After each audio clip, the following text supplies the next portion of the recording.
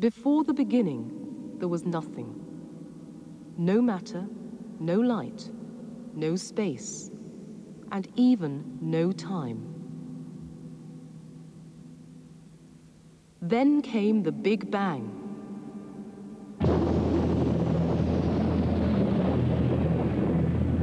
In it was born space, time, and our entire universe. We don't know why it happened, but all the evidence tells us that it did. The first few seconds of the universe were full of frenetic activity.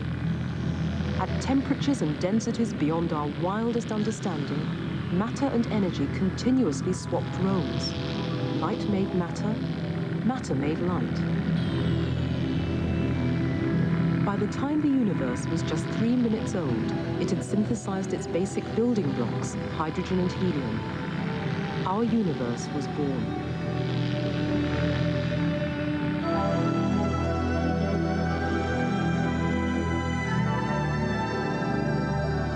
The Big Bang is no mere speculation.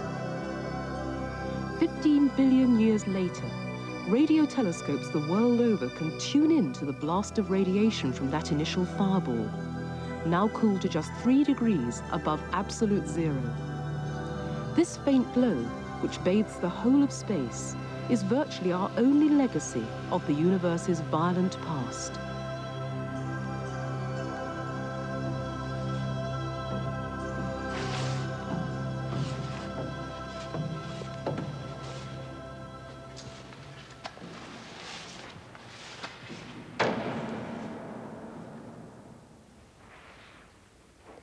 Another legacy is the fact that the universe is still expanding from that vast initial explosion. And I'm standing at the birthplace of 20th century astronomy next to the telescope that made that incredible discovery.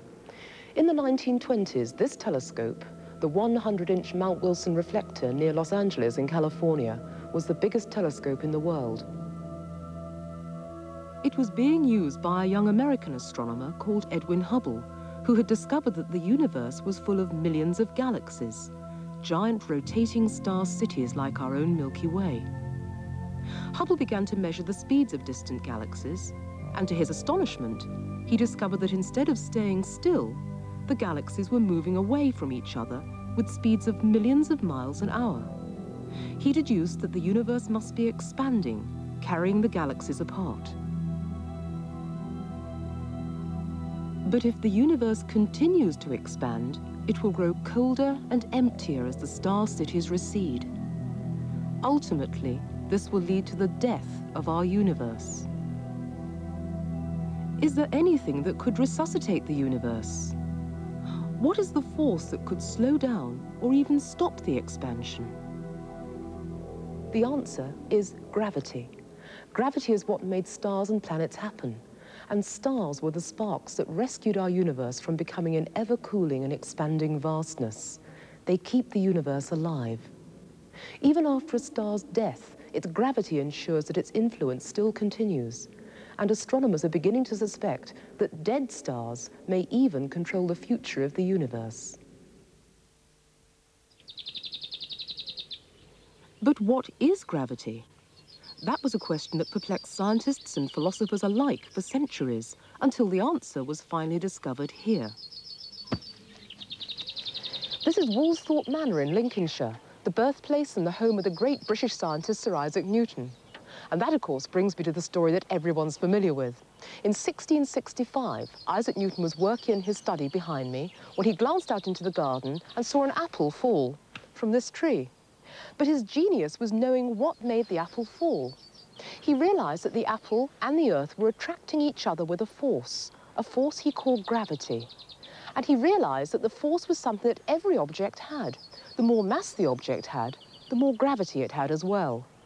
But his real genius was working out that gravity was a long-range force. Not only did it pull the apple and the Earth together, it also kept the moon in its orbit about the Earth and the planets circling the sun. What Isaac Newton showed was that gravity pervades the entire universe. Gravity is even responsible for the birth and death of stars. At the start, particles of dust and gas are attracted together, like the apple and the earth. Gravity compresses the mixture into burning nuclear fuel as the newborn star starts to shine. Without gravity, there could be no stars. At the end of a star's life, when its fuel runs out, gravity controls its death throes and shapes its corpse. The star cools and blows off its outer gas layers. As its nuclear engine runs down, its core collapses under the force of its own gravity. The giant star turns into a shrunken corpse, an object too small to be seen by astronomers until the last century.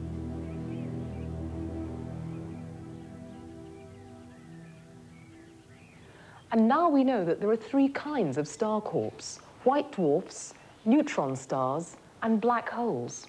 But actually finding these collapsed objects proved to be quite another matter. In the end, it was their gravity that found them out. Telescopes like this one at the Royal Greenwich Observatory in England had a major role to play in tracking down these corpses.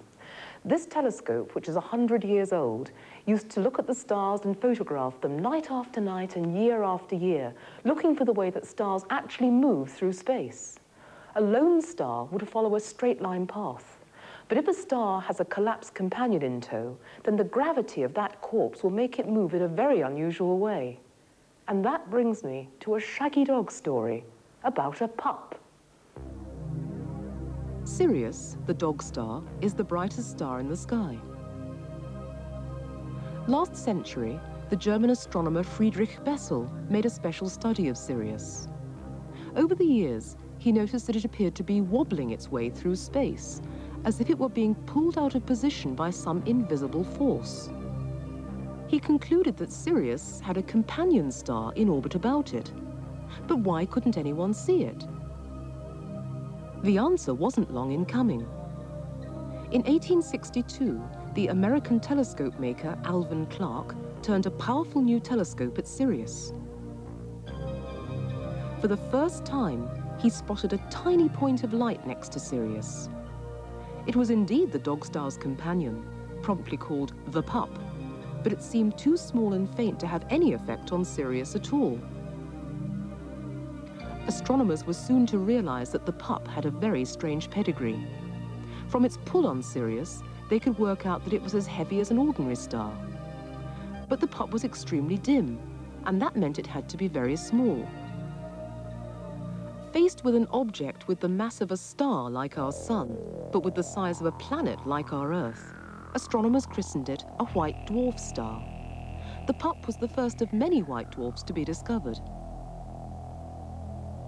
A white dwarf is the corpse of a dead star, the core of a star the size of our Sun that has collapsed under the force of gravity when the fuel finally ran out. It is revealed for the whole universe to see when an aging star blows away its atmosphere during its death throes. This corpse has some bizarre properties. A white dwarf is so compressed that a sugar cube made of its material would weigh a ton. But once a white dwarf forms, it's downhill all the way. It has no energy source. All it can do is leak away its heat into space. As the years go by, it cools, until, in the end, it becomes a cold, black cinder.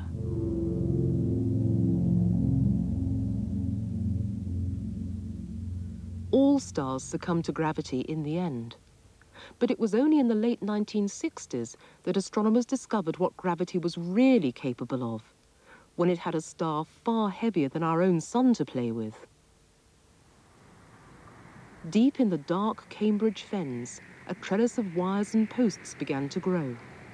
By 1967, it was covering four acres, and that's when the regular signals started. This great array was our most sensitive ear on the cosmos, and on its chart recorders, it began to pick up strange messages from outer space. Even as the paper was running under the pen, you could see the pen going whoop, whoop, and it looked even then as if we were getting a series of flashes or pulses, and they were equally spaced at about one and a third seconds. Incredibly fast for something astronomical. Well, my first guess was that it had to be radio interference. I mean, we often get that. Uh, motor cars drive along the road and upset the radio telescope, all sorts of things. Um, but it was only when it reappeared several times in the same place that I had any faith that really it was an object worth, worth looking at. At that stage, I thought maybe it was a flare star. We spent the next three or four weeks trying to explain what man-made signal could be getting into our receiver and giving this, and we couldn't explain it. We then realized that the source of these pulses was miles away, way beyond the Earth, about 200 light years away, typically, which puts it outside the sun and planets, but within our own galaxy. We uh, tentatively nicknamed it Little Green Men because we were still hung up on the idea that it was human, mankind, man-made, and yet it seemed astronomical. What Jocelyn Bell Burnell and Tony Hewish had actually discovered with their odd-looking telescope was another type of star corpse, but one even more extraordinary than a white dwarf. They are called neutron stars, and they're incredibly dense. Um, for instance, if one was to fill this cap full of neutron star material, it would weigh about 100 million tons. They're that dense. What we think happens is that when a big star reaches the end of its life, it explodes, as you know, the big spectacular supernova explosions. And the core of the star gets kicked against and shrunk in the explosion and turns into like a giant nucleus of an atom. This star is spinning. We believe that the clock that drives the pulses is this spinning star. It's got a strong magnetic field, which is probably also important. Uh, by strong, I mean a mere million, million times the Earth's magnetic field that we use to point our compasses. And as this whole conglomeration of star and magnetic field spins once a second or 10 times a second or whatever, somehow or other a beam is produced, a, a focused beam which sweeps round, a bit like a lighthouse here on Earth. And as it sweeps across us, we get a flash each revolution. And because of their pulsing signals, spinning neutron stars have been given the rather more affectionate name of pulsars. Pulsars are like lighthouses in more ways than one, but the average pulsar will put a lighthouse to shame. While you might see a flash from a lighthouse perhaps once every four seconds or so, the average pulsar flashes several times a second, in fact 600 times a second in the case of the record holder. That's because what you're seeing is a spinning star with a hot spot on its surface. And every time you get in the beam of this particular hot spot, you see a flash. The other similarity between lighthouses and pulsars is that they're beacons, beacons in space. And we've already used pulsars as navigational beacons for our own extraterrestrial spacecraft already. The Pioneer space probes, which are currently leaving our solar system, both carry plaques to show where the probes came from. Each plaque reveals where our solar system lies relative to the major pulsars, a dead giveaway to any life form intelligent enough to travel in space. But could a space traveler visit a pulsar? Well, I reckon a feather on a neutron star would weigh probably something like 20,000 tons. So a human being, you see, would weigh thousands of times heavier than that. So you wouldn't last long. You'd, you'd just get spread into a very thin smear over the surface in no time at all. But where do pulsars come from? They too are star corpses, the centers of supernovae, huge stars that have blown themselves apart. Despite the superficial fireworks, what's really important is what's going on deep inside. Here gravity squeezes the core so tightly that the atoms get compressed into neutrons, forming a pulsar or neutron star. For example, the Crab Nebula is the remains of a supernova that the Chinese watched explode in 1054. At its heart, astronomers have discovered a pulsar, spinning 30 times a second. The star that exploded to make the Crab pulsar was 15 times more massive than our Sun. If an even heavier star explodes, it may leave behind a corpse that is more bizarre than we can ever imagine a black hole, an object whose gravity is so strong that nothing can escape.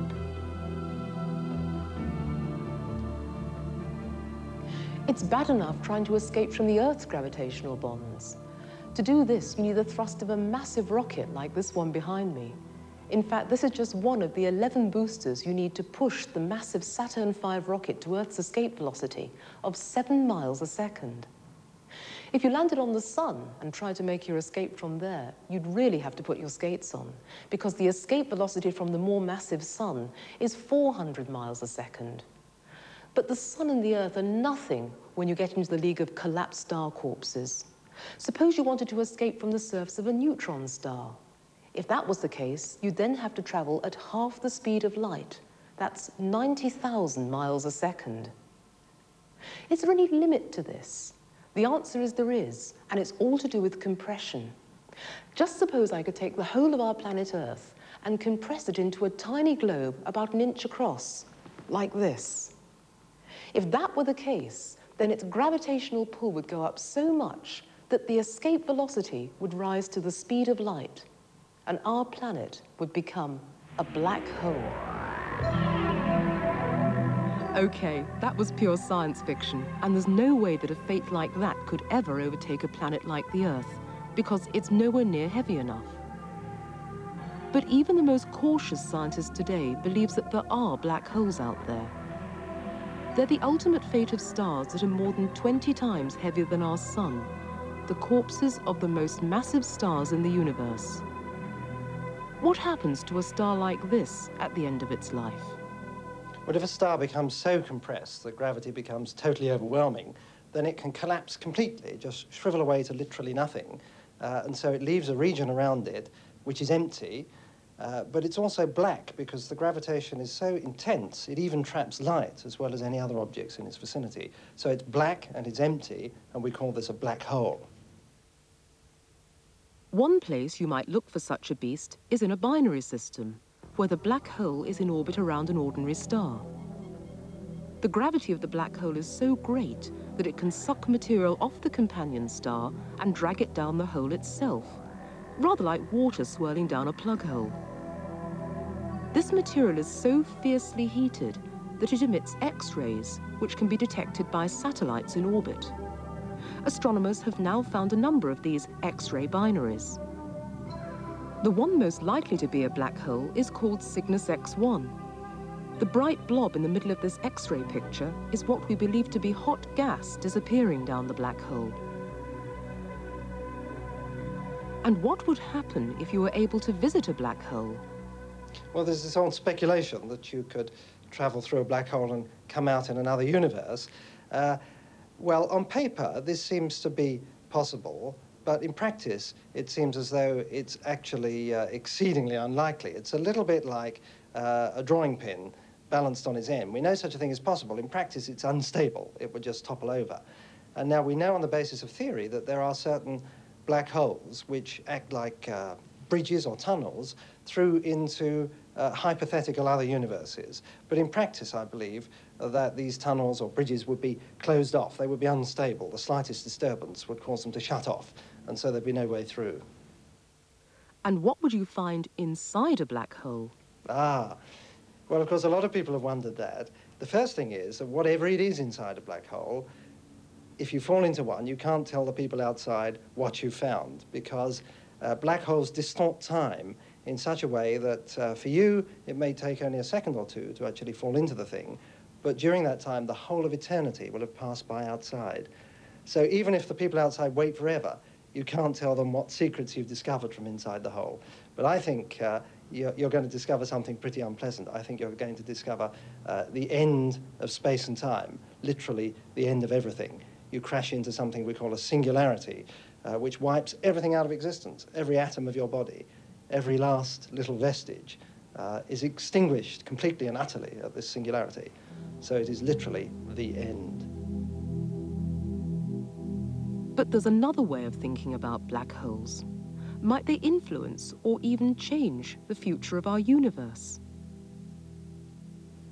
To find the answer to that question, we need to look at the universe on the widest possible scale, at the most distant galaxies we can see. And that's just what Edwin Hubble was doing with this telescope when he made the most important astronomical discovery of all time, the fact that the universe is expanding and carrying the galaxies along with it. But will our universe continue to expand? That all depends on the amount of material in it. If there's enough matter, and therefore enough gravity, then the universe has effective brakes. These may one day slow the rate of expansion, bring the universe to a halt, and even reverse it. That means in the distant future, we might not belong to an expanding universe, but to a shrinking one. Universe continues to expand, its future looks bleak. Slowly but surely, it will run out of material to make new stars and planets. In the far distant future, it will become a cold and empty graveyard.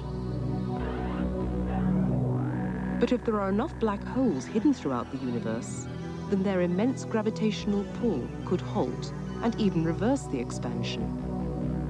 The universe, then, would not run down, it would be reborn instead. But are there enough black holes to save the universe? To answer that question, we need to look back into the distant past. That may sound impossible, but the universe is like a time machine. Because the distances in deep space are so vast, the light from remote objects takes billions of years to reach us. So if you look at the furthest reaches of the universe, you can see what was going on billions of years ago. Astronomers suspect that immediately after the Big Bang, the universe spawned a generation of supermassive stars, stars which died as black holes long, long ago. These distant black holes could well dictate the fate of our universe. But will we ever be able to find the evidence that they exist? In order to look at those earliest moments after the birth of the universe, and to look for that first generation of supermassive stars, we need a telescope more powerful than any on Earth. And this is it, the Hubble Space Telescope, undergoing final preparations at Sunnyvale, California. It's one of the biggest and most sophisticated satellites ever built. Very soon, this telescope will be placed in Earth orbit by the Space Shuttle.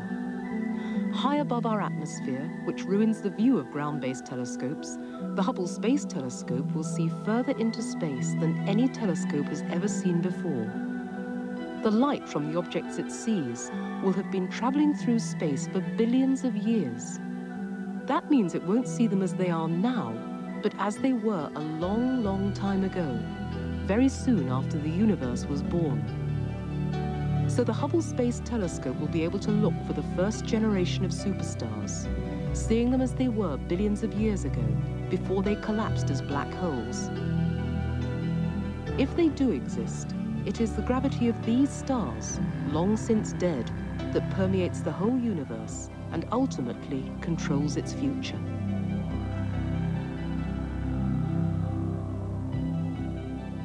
In our everyday lives, we hardly ever think about the stars. After all, from here on planet Earth, all the stars that have ever lived and died are very, very remote. And yet we depend on the stars for everything. We rely on one star, the sun, for all our everyday needs. And we have the stars to thank for our own existence. If it wasn't for generations of stars that died as supernovae and seeded space with the materials of Earth and the stuff of life itself, we just wouldn't be here. And there must be countless civilizations throughout the galaxy and beyond who live like us on planets with fertile land and oceans. But beyond that, the influence of stars is still more profound.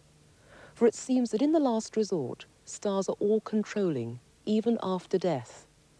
The corpses of stars have powers that we are only just beginning to discover. Those powers may enable them to save the entire universe. Mm.